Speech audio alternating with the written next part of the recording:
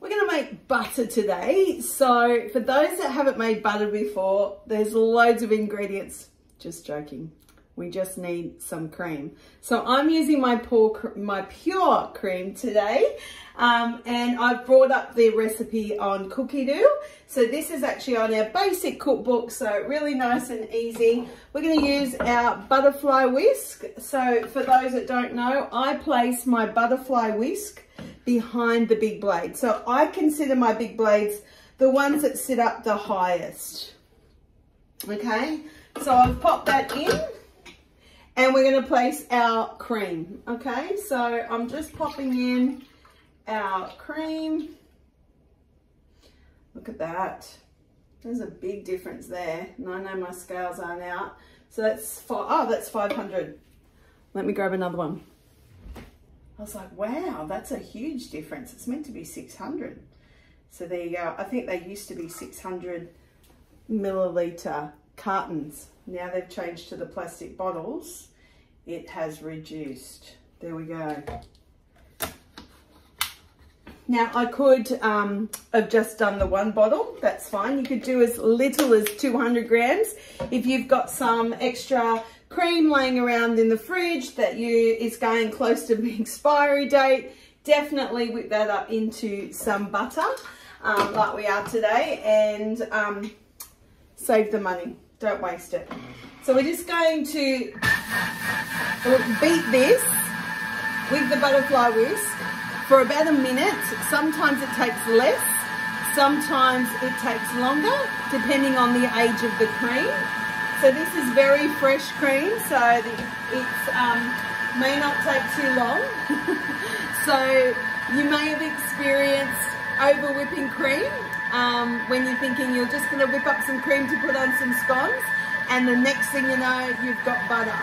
So it is wise just to keep an eye on it. I'm just going to stop it now just to show you halfway through that minute um, what it's looking like so you know what to be looking for. So you can see that quite quickly the milk, can I do it without spilling? You can see the buttermilk actually separating from uh, the butter. So I'll just keep that going for a few more seconds. And clearly the sound of that whipping the cream inside is changing.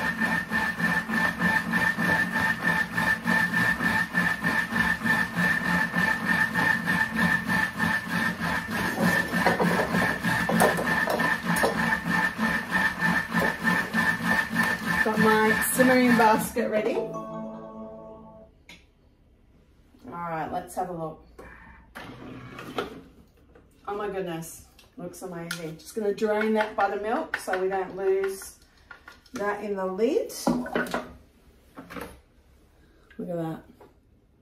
See all the buttermilk in there? So it's asked me to remove my butterfly whisk. And now what I'm going to do is pop, and I'm just going to push that little bit of cream down, or butter, I should say, down into the bowl. And I'm going to place this in my bowl, like so, okay? So this I'm going to use as a strainer. Got a glass jar here, and I'm just going to pour, this is all our gorgeous buttermilk.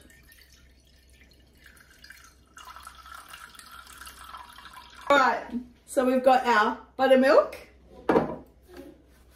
We've got our butter. And I'm going to put this aside for later. Oh, there's a little bit more in there. I'm just going to push down on the butter because I can see more buttermilk separating. I don't know if you can see that. Give me a second.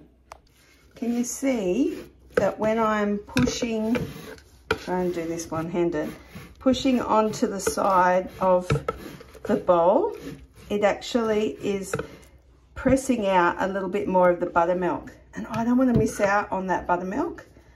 We want as much of it as we can.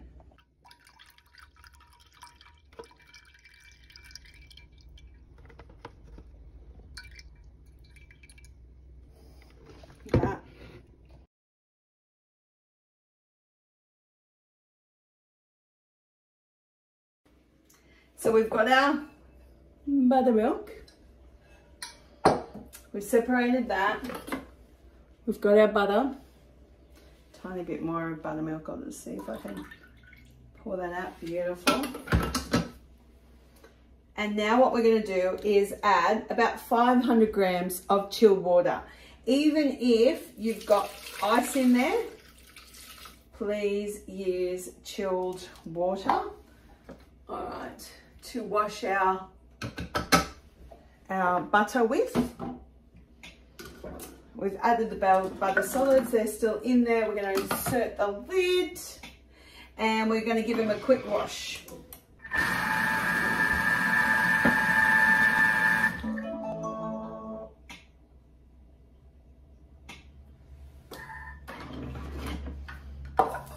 Okay.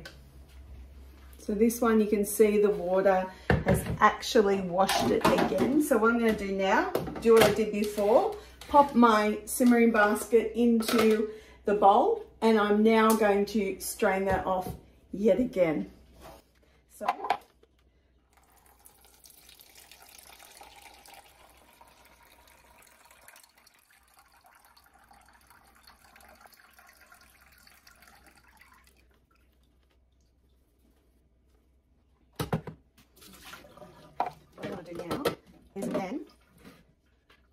press on the sides of my butter just to remove as much as I can of that liquid. Now that liquid you could use if you wanted to. It's not going to be quite as, um, what's the word? Buttermilky as the first um, strain, but um, it's definitely something that you could use if you really wanted to. So if you're one of these families where you don't want to waste anything at all, um, yes, um, you could in fact use that. I like to remove as much as of the buttermilk and the water as possible and my butter tends to last longer in my fridge. And there's my butter ready to go. At this point, you could actually re-whip it and add salt or flavour your butter, perhaps for honey butter for your hot cross buns. Okay, so there you have it. I have my buttermilk that I can use for pancakes, for cakes, for breads. Um, and I've got my butter and I've actually got this in my Butterbell. So what I can do is just put a little bit of cold water in the bottom of this and um, I can sit that on my bench all day and it will remain good to go and it will also um, be spreadable. I can actually add some salt to that if you wanted to while you're whipping it up at the last second. You can whip it up and the rest I've rolled up into a log like a lolly with my glad wrap twisted the ends and I will pop that in the fridge fridge in the fridge in the fridge for when I'm um, ready to use it. So there so that's how easy it is to make butter from simple old cream